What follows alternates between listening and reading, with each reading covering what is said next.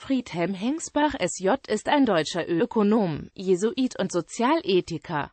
Leben Nach dem Abitur trat er 1957 als 20-Jähriger der Gesellschaft Jesu bei und studierte 1959 bis 1962 an der ordenseigenen Hochschule für Philosophie München. Von 1962 bis 1964 absolvierte er ein pädagogisches Praktikum in Büren. Von 1964 bis 1968 studierte er katholische Theologie an der Philosophisch-Theologischen Hochschule St. Georgen und von 1968 bis 1972 Wirtschaftswissenschaften an der Ruhr-Universität Bochum.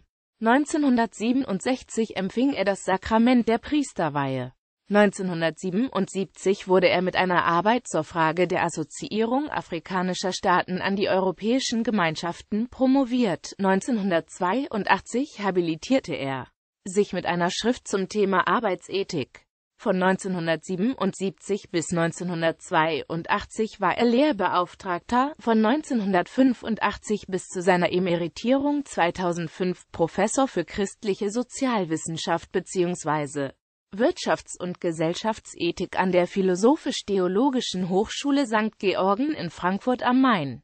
Er leitete von 1992 bis 2006 die K-Sekunden-Nell-Bräuning-Institut für Wirtschafts- und Gesellschaftsethik.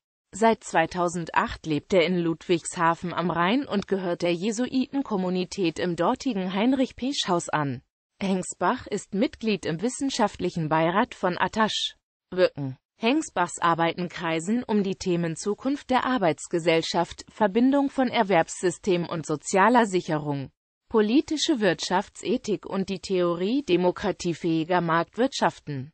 Hengsbach hält regelmäßig Vorträge und ist ein gern gesehener Gast in Diskussionsrunden. In seinen Schriften kritisierte Hengsbach stets die auf politischer Ebene getroffenen Maßnahmen gegen die steigenden Arbeitslosenzahlen der CDU-geführten Regierung unter Bundeskanzler Helmut Kohl hielt er vor, durch Entlastung der Leistungsstarken und Sozialabbau die soziale Spaltung der Gesellschaft zu verstärken. Er forderte, dass die sozialen Sicherungssysteme nicht mehr allein über die Erwerbsarbeit der abhängig Beschäftigten finanziert werden sollten, sondern auch durch Einkommen aus Unternehmertätigkeit und Vermögen. Er sprach sich stets für Arbeitszeitverkürzung und eine Neuverteilung der Arbeit aus.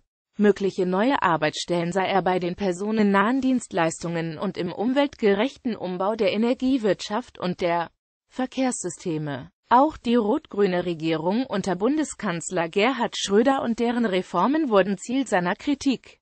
Die von der Politik genannten Ursachen für die schlechte Situation am Arbeitsmarkt wie Globalisierung, demografischer Wandel oder hohe Lohnnebenkosten ließ Hengsbach nicht gelten und bezweifelte dass durch die Reformen Arbeitsplätze geschaffen würden.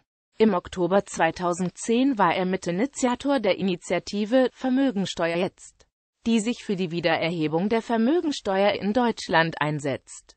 2011 bezeichnete er die Arbeitsmarktpolitik der Regierungen der vergangenen 30 Jahre als völlig verfehlt. Sie sei gekennzeichnet von einer völligen Demontage der solidarischen Sozialversicherungen und einer Entregelung sicherer Arbeitsverhältnisse.